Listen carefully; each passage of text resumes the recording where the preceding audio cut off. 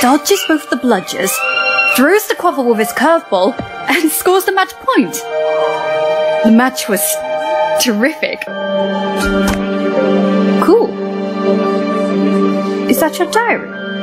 It's just plain stupid. What is? Quidditch. People running around on brooms chasing flying balls. It's ridiculous. Worse than a fantasy. But it's real. Well, I must admit, though, it's an interesting point of view. I've never seen it like that. But maybe it's just the muggle part in you that finds Quidditch stupid. I am not a muggle. I have none of their dirty blood. I am the best student Hogwarts has ever seen. And one day, I'll be the most powerful wizard in the history of time. Can assure you.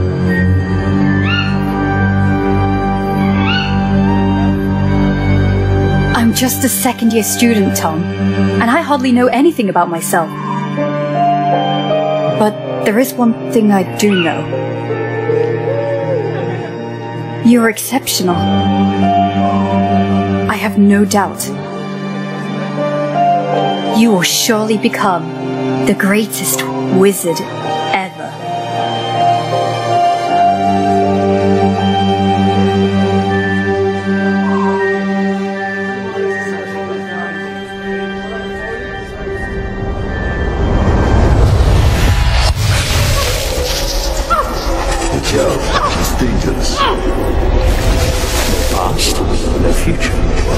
Inject her with Veritaserum.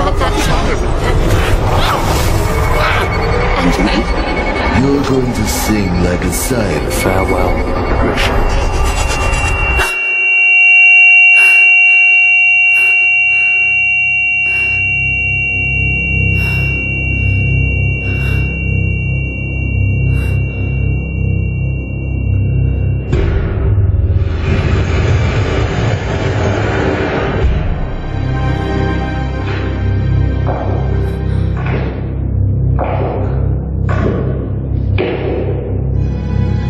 Done to me?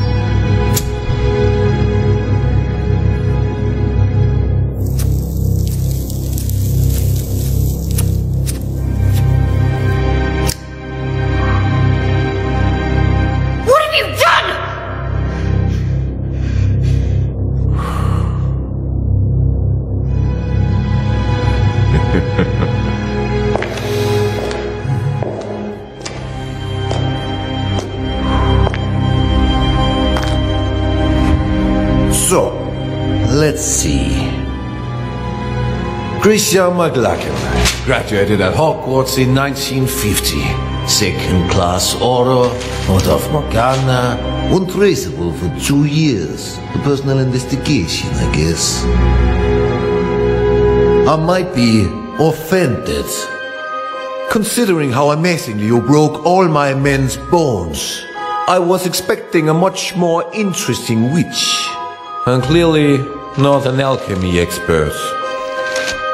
Such a peculiar displacement technique. Which kind of magic is it? It surely doesn't look like a common disapparition. Listen to me, General Makarov. You're making a mistake.